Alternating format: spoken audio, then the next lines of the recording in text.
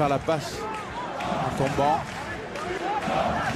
Et le Stade Chabot-Delmas qui pousse son équipe parce qu'elle elle en a besoin. Josh Bakeus. On vient pilonner côté euh, bordelais pot guitter voilà, pour aller chercher euh, Toby Arnold lancé. Julien Bonner maintenant qui entre dans les 22 mètres. Ah, dans le rock, c'est magnifique ce que vient de Oh, faire euh. Jefferson Poirot. Magnifique récupération de balle de la part de Jefferson Poirot sur ce rock. Attention, pourquoi pas